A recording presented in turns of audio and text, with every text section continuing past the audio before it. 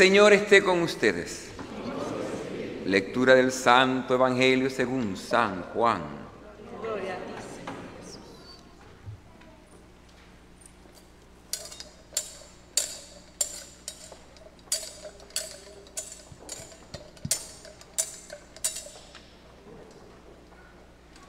En aquel tiempo preguntó Pilato a Jesús, ¿eres tú el rey de los judíos?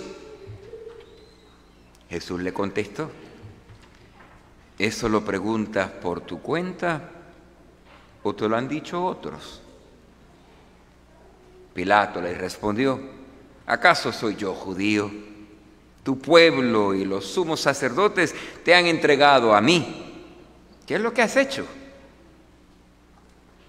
Jesús le contestó, mi reino no es de este mundo. Si mi reino fuera de este mundo, mis servidores habrían luchado para que no cayera yo en manos de los judíos. Pero mi reino no es de aquí. Pilato le dijo, con que tú eres rey. Jesús le contestó, tú lo has dicho, soy rey. Yo nací y vine al mundo para ser testigo de la verdad. Todo el que es de la verdad, escucha mi voz. Palabra del Señor.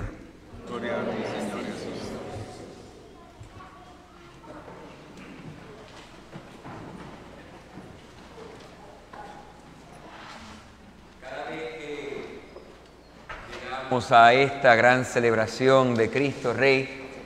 A mí me remota a mi tierra, a mi pueblo, mi gente, las grandes procesiones con Cristo Rey y una de mis canciones favoritas.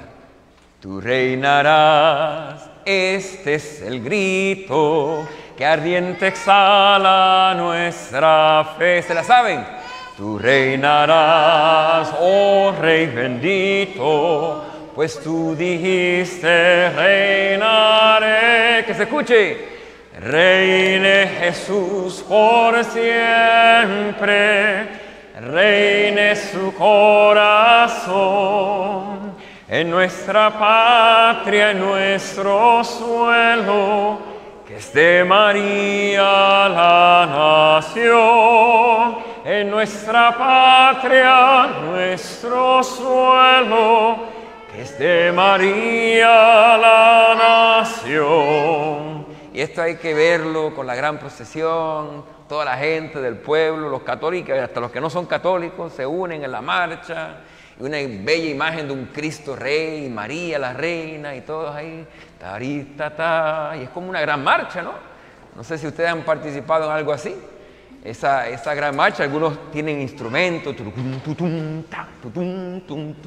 y banderas, y van caminando por todo el pueblo, por toda la plaza, con gran alegría, proclamando en fe que Cristo es Rey. Y es de esta manera que celebramos nuestro año litúrgico, recordando que todo tiene un fin y hacia un fin nos orientamos y por eso como cristianos somos un pueblo escatológico. Hoy es domingo, así que tengo que dar palabras de domingo, ¿verdad? Somos un pueblo qué? Escatológico. Un pueblo escatológico. Repeat after me. Escatológico. Un pueblo escatológico. Una gran palabra en griego de escatón viene de que es en referencia al fin. Nosotros como cristianos, si verdaderamente somos cristianos, somos un pueblo que camina y camina hacia un fin. Y por eso somos un pueblo escatológico. Es lo que hacemos todos los domingos. Todos los domingos cuando venimos a misa, en la misa de domingo, profesamos, celebramos y esperamos ese fin. Vamos a, para que ustedes se den cuenta. Voy a la liturgia. El fin como lo que profesamos, celebramos y esperamos. Vamos a ver.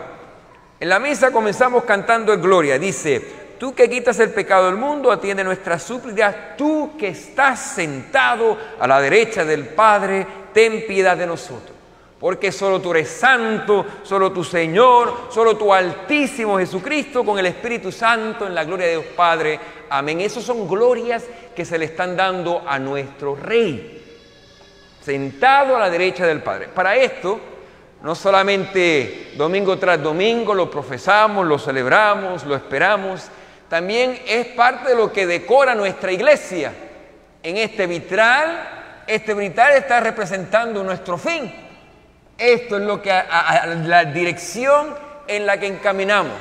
Cristo, el Rey, el juez, seremos juzgados según nuestras acciones, según nuestra fe, y hacia ese fin nos orientamos es parte de nuestra decoración, es parte de lo que cantamos, pero también es parte de lo que profesamos en fe. Después de la prédica viene el credo y parte de nuestra, de nuestra fe que profesamos domingo tras domingo decimos, y está sentado a la derecha del Padre y de nuevo vendrá con gloria para juzgar a vivos y muertos y su reino no tendrá fin lo celebramos, lo ponemos en vitrales, lo cantamos, lo profesamos como fe. Somos un pueblo escatológico. No ser escatológico, no encaminarnos hacia un fin, es ser no cristiano. Ser cristiano es caminar hacia un fin. Creo en la Iglesia Católica, en la Santa Apostólica, confieso que hay un solo bautismo para el perdón de los pecados espero la resurrección de los muertos y la vida del mundo futuro. Amén. Esta es nuestra fe. La profesamos, la cantamos, la celebramos y si no fuera suficiente, vamos a la plegaria eucarística.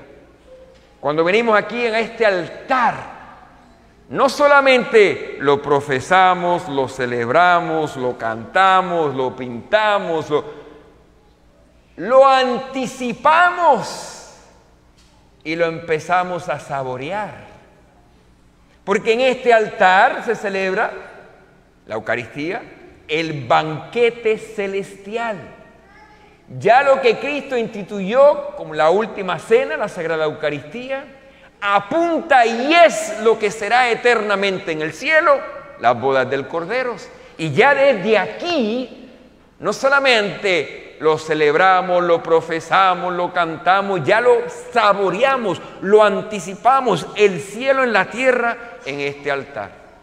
Y lo hacemos con todos los santos y santas, ángeles y arcángeles, como pueblo escatológico. Miren las palabras que utilizamos en la plegaria eucarística número 2. Dice, acuerda también de nuestros hermanos que se durmieron en la esperanza de la resurrección esa es nuestra fe. Esperanza en que vendrá un fin y en ese fin la resurrección de los muertos.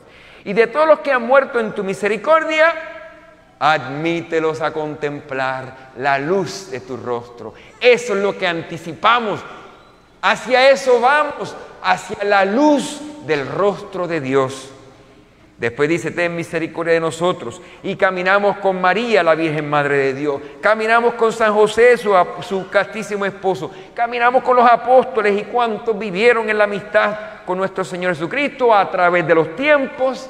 Y pedimos merecer, merezcamos por tu Hijo Jesucristo, compartir la vida eterna y cantar tus alabanzas. Eso es lo que nos espera en el fin de los tiempos.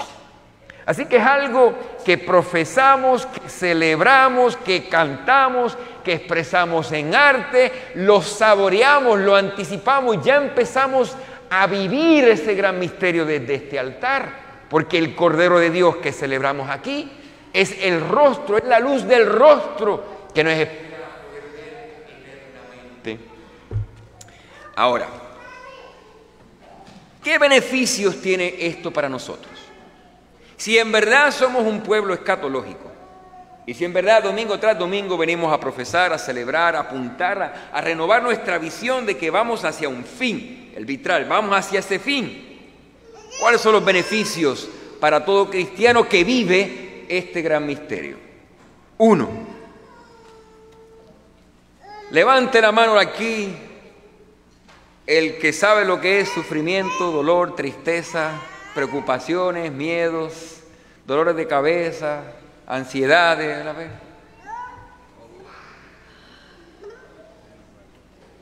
Lo bueno de ser un pueblo escatológico es que yo te puedo decir con toda la firmeza en fe que todo eso tendrá un fin. La preocupación que tienes por tus seres queridos, la situación que estás luchando en estos momentos, eso va a tener un fin. Aquella preocupación por esto o lo otro, eso dejará de ser. Ser un pueblo escatológico te da esta firme esperanza de saber que en medio de las tristezas, de los dolores y sufrimientos, ellos tendrán un fin. Y no solamente el fin de la vida eterna, no, no, no, eh, un fin y lo, lo vamos a experimentar aquí. Era un gran sabio párroco americano, irlandés. Yo me recuerdo recién, no, yo era seminarista para ese tiempo. Y hablaba con el párroco irlandés, le decía, y esto y lo otro, y, y, yo todo ahí alborotado, con preocupaciones, injusticia, esto y lo otro. Y el párroco irlandés que ya llevaba 50 años de cura, la ha visto la meca, la seca, lo ha visto todo, bien tranquilito, leyendo su librito. Y hoy tú no te molesta porque está... Y el tranquilito me decía, en inglés me decía, This too shall pass. This too shall pass. Una traducción, esto también va a pasar. Ese problema, eso va a pasar. Aquella situación en el trabajo, eso ya, eso tarde o temprano va a pasar. Todo lo que te está preocupando, eso va a pasar. Y de aquí a cinco años ni te vas a recordar. y ni recordarte el tiempo, la energía que perdiste preocupado ansioso en esa situación que después de cinco años, en verdad, ¿qué tuvo que ver? Así que el pueblo escatológico, pueblo cristiano, si en verdad vivimos este principio de saber que hay un fin, uno de los beneficios es saber que en medio de nuestras dificultades todo difícil, todo doloroso, todo problema, toda preocupación tendrá su fin. Y no solamente digo, bueno, sí, en el fin de los tiempos se acabará todo. No, un añito, dos añitos, tres añitos, dale cinco años, todo lo que te estaba preocupando, en verdad no va a tener nada de sentido. Y te vas a reír de tú mismo. Yo que me estaba muriendo en preocupación por esta gran tragedia y en verdad se solucionó solo. Otro beneficio de ser un pueblo escatológico, la libertad. La libertad. ¿Libertad de qué? Tú sabes, uno de los más grandes miedos que sufrimos nosotros, la raza humana, y nos impide a vivir en plenitud, el miedo a morir. No solamente el miedo a sufrir, y ya sabemos que cuando nos toca el sufrimiento, eso tarde o temprano va a pasar. This too shall pass. No solamente esa libertad de no preocuparse tanto sabiendo que todo tiene un fin, pero también la libertad, sobre todo la libertad, aquello que más esclaviza a la humanidad, el miedo a la muerte. Sería bueno especialmente en esta celebración de Cristo Rey, hacerme la pregunta, ¿qué me impide aceptar mi muerte? En este mismo, si ahorita mismo el Señor me dice, tú estás lista, te, vas conmigo. Celebramos el fin de los tiempos, litúrgicamente hablando, Cristo Rey. Y si fuese el caso que diría el Cristo Rey, qué bueno, ya has llegado al fin de tu peregrinaje y tu marcha, entrale, vamos al reino de los cielos, vamos, tranquila. ¿Qué te impediría aceptar eso? Yo sé que muchos dirían, bueno, es que los niños todavía están chiquitos, y yo si me voy, que va a ser mi esposo, se va a morir de hambre. Las preocupaciones de la familia, del esposo, entendible, entendible. Pero una verdadera libertad, hay que pedir la gracia de la santa indiferencia. Y quizás ese puede ser el don que le pidan a Dios, Cristo Rey, en esta gran celebración. Dame la gracia de la santa indiferencia. No quiere decir que, dame lo que no me importe la nada y ponle un, polvito espiritual encimita para que sea santa indiferencia. No, eh, en santa indiferencia me refiero a la enseñanza de San Ignacio de Loyola, que dice que hay que pedir esta gracia y es una gracia que te da la libertad. Que es decir, mira, eh, Dios, si tú quieres que yo sea rico o pobre, si tú quieres que yo sea que tenga salud o enfermedad, Señor, si tú quieres que yo esté vivo o muerto, a mí me da igual después que sea tu voluntad. Porque si es tu voluntad y yo sé que tú me amas y únicamente deseas lo mejor para mí, lo que tú quieras yo lo acepto. Esa es la santa indiferencia. Y eso te da libertad. Libertad para empezar a poder vivir. Porque vivimos esta vida terrenal con tanto miedo que ni la vivimos. Y no es que simplemente esto es un escape, pensar en el más allá, no. No solamente es pensar el más allá como un, escape, no. Es para poder vivir plenamente en el hoy. Porque si no tengo miedo a la muerte, ya puedo empezar a vivir el día de hoy a plenitud, sin nada que me aguante a darlo todo y vivirlo al máximo. Así que parte de los beneficios es esa, esa libertad ese saber, el gran consuelo de saber que todo tendrá su fin, pero también nos ayuda, otro gran beneficio de ser un pueblo escatológico, es que podemos caminar con una, con una dirección. ¿No saben las gallinas cuando le cortan la cabeza, cómo caminan? ¿Cómo corren? Por todas partes, como si como, no, sigan ahí como locos. A muchos parecen así. Pero si somos un pueblo escatológico, tenemos un fin en mente, tenemos un destino, tenemos una orientación y hacia allá vamos. Y cuando hay que tomar decisiones, las decido según esa dirección. ¿Esto me ayuda a llegar ahí? No, pues no lo hago. Aquello, ¿me ayuda a llegar allá? Sí, pues eso lo voy a hacer. Ayuda a tomar decisiones. Ayuda a tener un enfoque en tu vida y no estar caminando como para aquí, para allá, para allá, dando vueltas en un círculo y no llegando a ningún lugar. Pueblo escatológico, la bendición es que puedes tener una dirección y no perder tiempo ni energía en cosas que no valen la pena. Así que en esta gran celebración, ciertamente somos un pueblo escatológico, encaminados hacia un fin, hacia una segunda venida, hacia la resurrección de los muertos, hacia un juicio final donde habrá el fin de los tiempos y finalmente comenzar lo que toda alma anhela y ha sido creada a experimentar. Hace poco, antes de venir para acá, estaba haciendo un poquito de bicicleta, corriendo bicicleta. Y cuando yo cojo el Pinelas Trail, en la dirección sur, en la dirección sur hay muchos puentes. cada pare y hay, los tengo contados, son cinco puentes.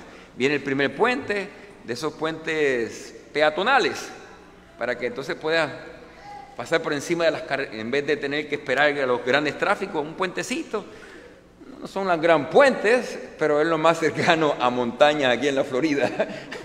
y si uno quiere entrenar para correr bicicleta, tiene que variar algo, ¿no?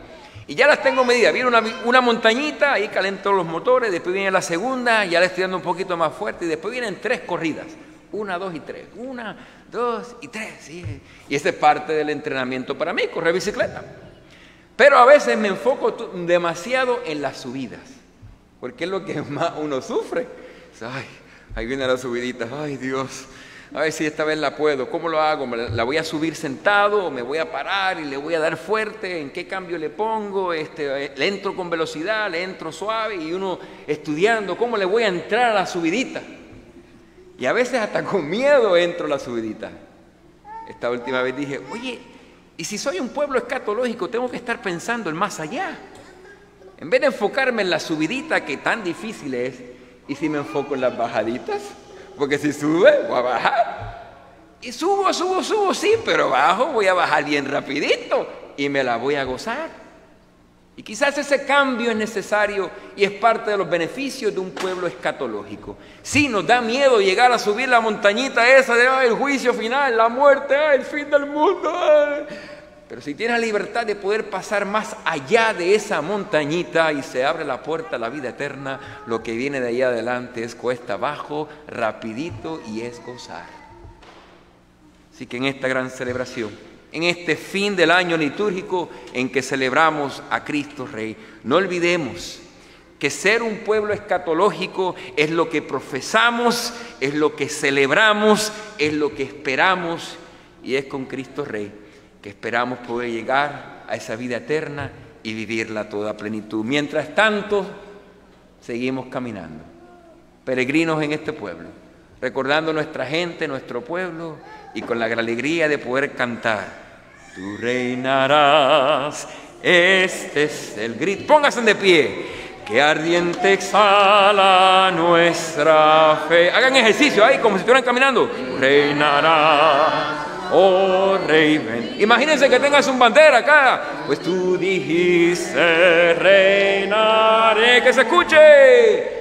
Reine Jesús por siempre, reine su corazón.